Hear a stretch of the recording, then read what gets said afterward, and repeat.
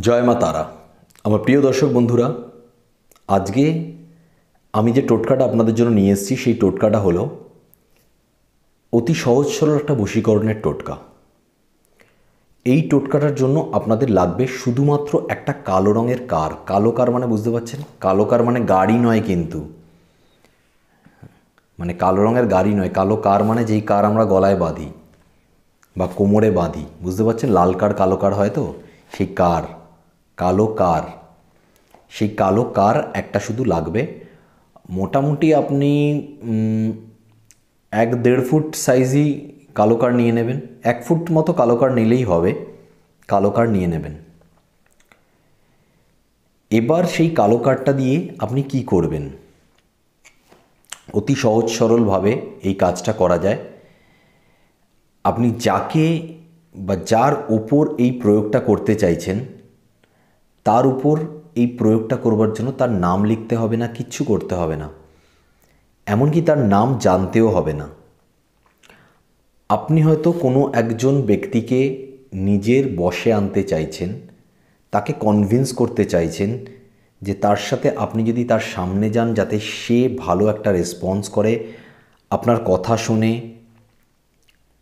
তার ভালো লাগে আপনাকে, সে পছন্দ করতে শুরু করে আপনাকে, এটা যদি আপনি চান সেই ব্যক্তিটা হতে পারে যে আপনি হয়তো দীর্ঘদিন ধরে কাউকে ভালোবাসেন বা কাউকে পছন্দ করেন বা কারোর সঙ্গে বন্ধুত্ব করতে চান, কিন্তু আপনি বলতে পারছেন না তাকে ডিরেক্টলি তো এই কাজটা করে আপনি তার সামনে যেতে পারেন। কিংবা হতে পারে আপনাদের, আপনি মানে স্বামীর জন্য কিংবা আপনি যদি একজন স্ত্রী হন, তাহলে স্বামীর জন্য আপনি যদি একজন পুরুষ হন তাহলে আপনার স্ত্রীর জন্য আপনি করছেন, হয়তো আপনাদের সম্পর্ক ভালো ছিল, অতিমাত্রায় ভালো ছিল। এই মুহূর্তে কোনো কারণে সম্পর্কটা একটু গোলমালের হয়ে গেছে প্রবলেম চলছে। সেই ক্ষেত্রে আপনি এই প্রয়োগটা করতে পারেন। সেই ক্ষেত্রে আপনি আপনার স্বামী কিংবা আপনার স্ত্রীর সামনেই থাকবেন। কিংবা প্রেমিক প্রেমিকার ক্ষেত্রেও এটা হতে পারে যে তাদের হয়তো কোনো কারণে ব্রেকআপ হয়ে যাচ্ছে বা ব্রেকআপ হয়ে গেছে। তাদের মধ্যে আর হয়তো সেই অর্থে আর কোনো সম্পর্ক নেই, কিন্তু তারা হয়তো দেখা সাক্ষাৎ হয় তাদের কথাবার্তা বলে, কিন্তু সেই হিসাবে কোনো সম্পর্ক নেই। সেটা হতে পারে আপনি যদি একজন স্ত্রী হন, আপনার প্রেমিক আপনাকে ছেড়ে দিয়েছে বা ডিচ করেছে, বা হতে পারে যদি আপনি একজন পুরুষ হন, আপনার প্রেমিকা আপনাকে কোনোভাবে ছেড়ে দিয়েছে। অথবা এটা একটা অন্য প্রয়োগ হতে পারে, সেটা হচ্ছে যেটা যে আপনি এমন কোনো ব্যক্তিকে নিজের বসে আনতে চাইছেন যেখান থেকে আপনি কোনো একটি ফায়দা পাবেন। সেটা হয়তো কোনো প্রেমিক, প্রেমিকা, স্ত্রী বা স্বামী বা ভালোবাসার কোনো ম্যাটারই নয়।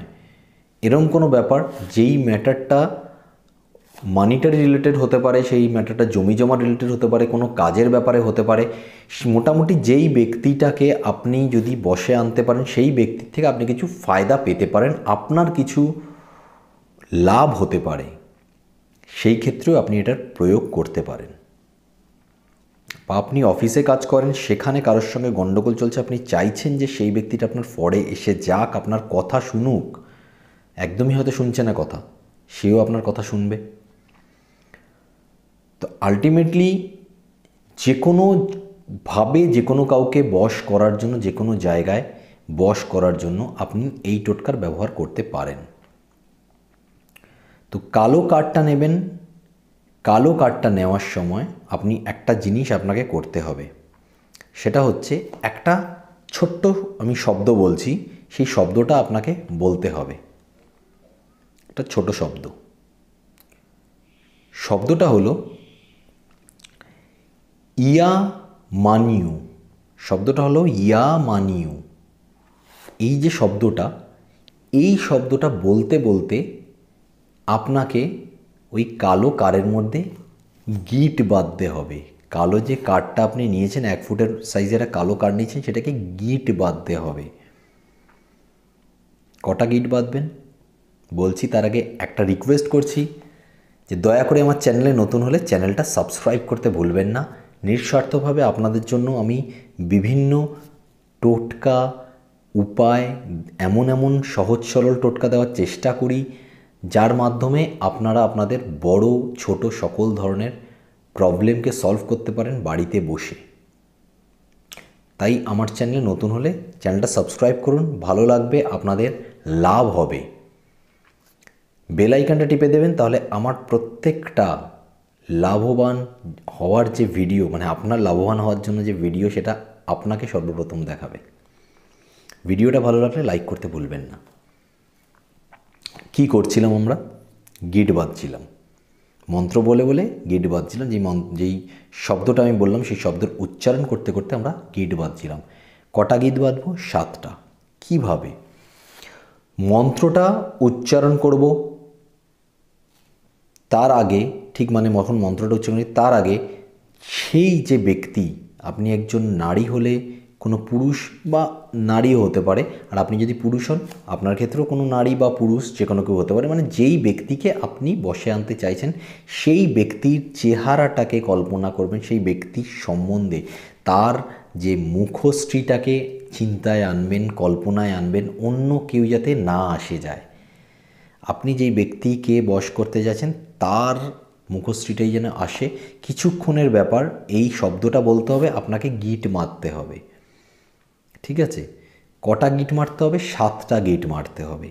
এই মন্ত্রটা বা এই শব্দটা বলতে বলতে যে সাতটা গিট মারতে হবে, সেইটুখানি যে টাইম লাগবে, একদমই অল্প টাইম সেইটুখানি টাইম পর্যন্ত অন্তত আপনাকে শুধুমাত্র যেই ব্যক্তিটিকে আপনি বশ করতে চাইছেন, তার চেহারাটাই চিন্তা করতে হবে, অন্য কেউ যাতে না আসে। যদি অন্য কারোর চেহারা তার মাঝখানে এসে যায়, তাহলে কিন্তু টোটকাটা গোলমাল হয়ে যাবে। তাই জন্য যাকে বশ করবেন, তার চেহারাটা চিন্তা করবেন ভালো করে এবং তারপরে যেটা আমি বললাম, সেই শব্দটা বলবেন এবং একটা গিট মারবেন। আবার শব্দটা বলবেন, আরেকটা গিট মারবেন। আর আবার শব্দ বলবেন, আরেকটা গিট মারবেন। এইভাবে সাতবার শব্দটাকে বলবেন, সাতটা গিট মারবেন এবং এই সাতবার শব্দ বলা এবং সাতটা গিট মারার মধ্যে শুধুমাত্র আপনার চিন্তা, আপনার কল্পনা, আপনার চোখের সামনে চোখ বন্ধ করলে সেই ব্যক্তিটারই যেন ছবি প্রতিফলিত হয় যে বা যাকে আপনি বশ করতে চাইছেন।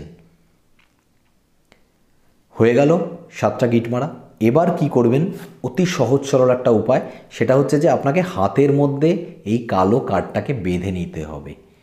এই হাতের মধ্যে কালো কার্ডটাকে বেঁধে নিতে হবে এবং বেঁধে সেই ব্যক্তির সামনে আপনাকে যেতে হবে। যে কোনো টাইমে হোক যে কোনো অছিলায় হোক, একবার তার সঙ্গে দেখা করে নিতে হবে বা তার সামনে যেতে হবে, সে সেখানে আছে। তার সামনে গিয়ে তার সঙ্গে কথা বলতে হবে এবং হাত নাড়িয়ে এমনভাবে কথা বলুন যাতে কালো এই কার্ডটার দিকে তার নজরটা যায়। কিছুক্ষণের ব্যাপার। কয়েক সেকেন্ড বা কয়েক মিনিটের ব্যাপার, আপনি শুধু কথাবার্তা বলবেন, তার নজরটা যেন বারবার আপনার কালো কারের দিকে যায়, সেভাবে হাত নাড়িয়ে সেভাবে কথাবার্তা বলবেন। কিন্তু এখানে একটা ভাইটাল জিনিস কি? সেটা হচ্ছে যে, কালো কাঠটা যে আপনি হাতে বাঁধবেন, ছেলেরা এবং মেয়েরা একই হাতে বাঁধবেন না, এটা ভালো করে মনে রাখবেন। ছেলেরা বাঁধবেন ডান হাতে কালো কাঠটা, যদি আপনি কোনো স্ত্রীকে বশ করতে চাইছেন। মেয়েরা বাঁধবেন বাম হাতে, যদি আপনি কোনো একজন পুরুষকে বশ করতে চাইছেন। ভালো করে বুঝে গেলেন? তাহলে টোটাল জিনিসটা মন্ত্রটা বা শব্দটা বলতে বলতে সাতটা গিট মারা, সাতটা গিট মারার সময় যেই ব্যক্তিকে আমি বশ করতে চাইছি, তার পুরো চেহারাটাই আমার কল্পনার মধ্যে থাকবে, তার চেহারাই সামনে থাকবে, অন্য কোনো ব্যক্তির চেহারা আসবে না। এবং গিট মারা কমপ্লিট হয়ে যাওয়ার পরে সেই কালো কার্ডটাকে আমরা বেঁধে নেব হাতের মধ্যে, ছেলেরা হলে ডান হাতে, মেয়েরা হলে বাম হাতে। এবং আমি মানে আপনারা সেই যে ব্যক্তিকে বশ করতে চেয়েছেন তার সাথে দেখা করতে যাবেন এবং বিভিন্ন অছিলায় হাতটা এমনভাবে নাড়াবেন যাতে সেই কালো কাঠটা দিকে বারবার তার নজর যায় এবং তারপর ম্যাজিক শুরু। তারপর খেলা পুরোপুরি জমে যাবে ম্যাজিক শুরু হয়ে যাবে। আপনি মিরাকেলি দেখবেন শুধু। সেই ব্যক্তিটা যেন আবার যদি আপনার সঙ্গে আগে রিলেশন থেকে থাকে, কেটে গেছে এই মুহূর্তে, আবার আপনার জীবনে ফেরত আসতে চাইছে, আর যদি না থেকে থাকে, নতুন পুরো কাউকে আপনি ভালোবাসেন দীর্ঘদিন ধরে বা বন্ধুত্ব করতে চাইছেন, বলতে পারছেন না, সেও দেখবেন ধীরে ধীরে আপনার দিকে আসছে। আমি বলছি না যে যেই সময় আপনি গিয়ে কথা বলবেন, ওগুলো সব ভুলভাল ফেক কথা হয়, যে আপনার কালো কার্ডটা দেখল আর সঙ্গে সঙ্গে সে ফিদা হয়ে গিয়ে আপনার উপরে একদম লুটিয়ে পড়ল, ওই সব কিছু না। সময় সাপেক্ষ হবে, কিছুদিন লাগবে, কিন্তু ধীরে ধীরে আপনি বুঝতে পারবেন যে সে আপনার দিকে আসছে, আপনার কথা তার ভালো লাগছে, সে আপনার কথা শুনছে, আপনার সাথে দেখা করছে এবং আপনাদের মধ্যে সম্পর্ক গভীর থেকে গভীরতর হচ্ছে। অতি সহজ সরল একটা টোটকা, একটা কালো কার্ড দিয়েই হয়ে যাবে। তাই অবশ্যই চেষ্টা করে দেখুন।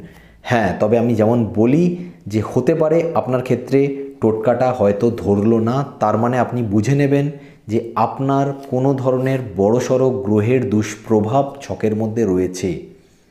কিছুদিন অপেক্ষা করুন, যদি গোচরের গ্রহ সরে বা আপনার দশা অন্তর্দশা পাল্টায়, সেই সময় হয়তো ওই গ্রহের দুষ্প্রভাবটা কমে গিয়ে এই টোটকাই আপনার কাছে মারাত্মক রকমভাবে কাজ করে যাবে। তাই জন্য যদি প্রথমবার না ধরে একটু অপেক্ষা করে যান এবং তারপরে আবার কিছুদিন পরে করুন। অবশ্যই অবশ্যই সাকসেসফুল আপনি হবেন। আজ এই পর্যন্ত। নেক্সট ভিডিওতে আরেকটা কোনো টোটকা নিয়ে আপনাদের সাথে আবার দেখা করব। ততদিন পর্যন্ত ভালো থাকবেন, সুস্থ থাকবেন এবং সকলকে ভালো রাখবেন। জয় মা তারা।